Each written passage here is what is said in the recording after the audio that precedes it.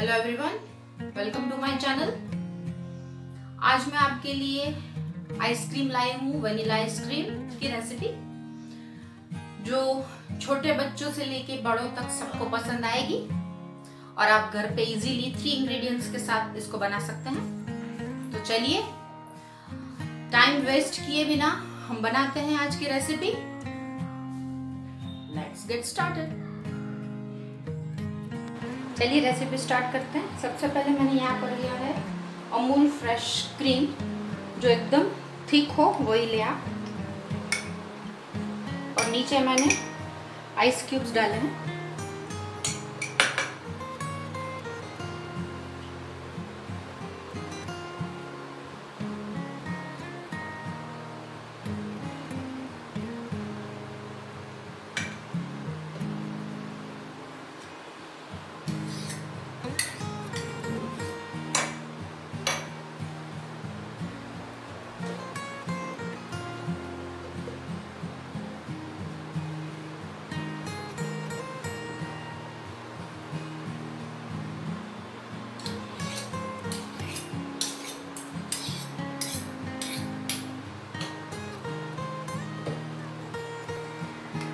Cup लेंगे हम।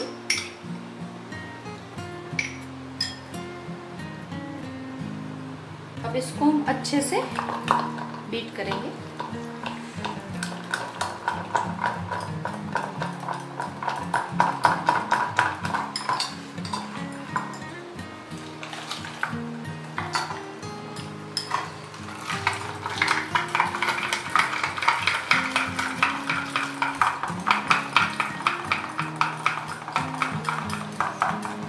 दस मिनट आपको लगातार इसको चलाते रहना है।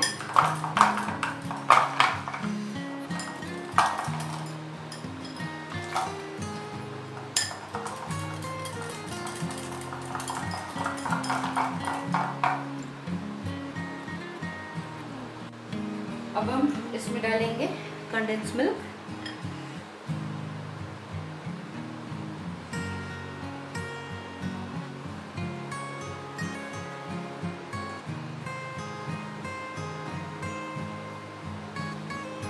हाफ़ कप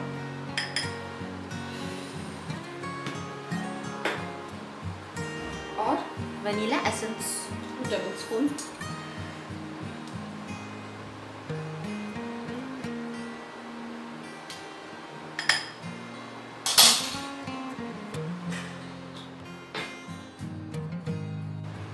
अब हम एक कंटेनर में इसको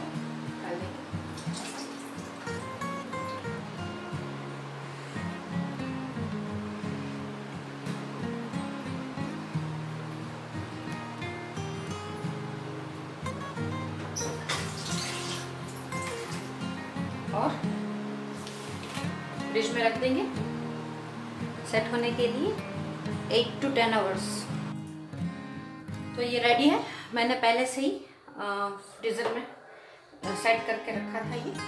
अब हम इसको निकाल लेते हैं। ये देखिए, ये अच्छे से स्कूप्स इसके निकल आए हैं। अब हम इसको अगर आप चाहे तो चॉकलेट सॉस से भी डेकोरेट कर सकते हैं, या तो फिर वनीला कोई ज़रूरत नहीं है वनीला आइसक्रीम को। ऐसे भी सर्व कर सकते हैं।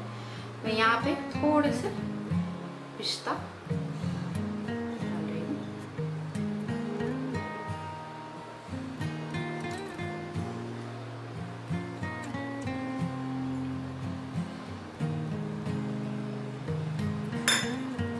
तो रेडी है ये हमारा वनीला आइसक्रीम